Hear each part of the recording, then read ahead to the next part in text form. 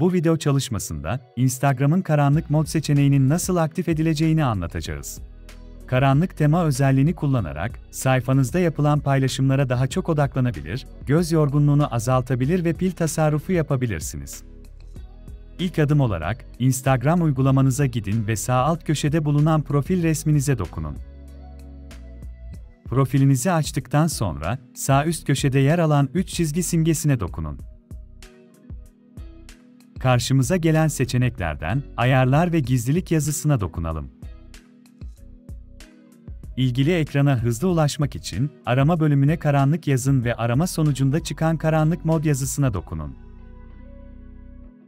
Bu ekran aramayla karşınıza gelmiyorsa, ayarlar ve gizlilik bölümünde sayfanın aşağısına inerek erişebilirlik seçeneklerine giriş yapın.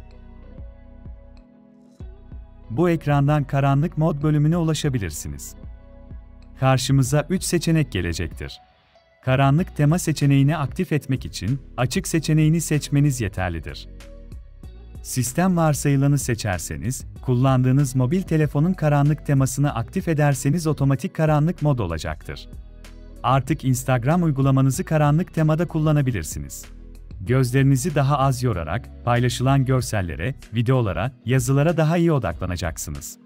Aynı yolu takip ederek karanlık mod özelliğini istediğiniz zaman kapatabilirsiniz. Yeni bir video çalışmasında görüşmek üzere, kanalımıza abone olun, takipte kalın.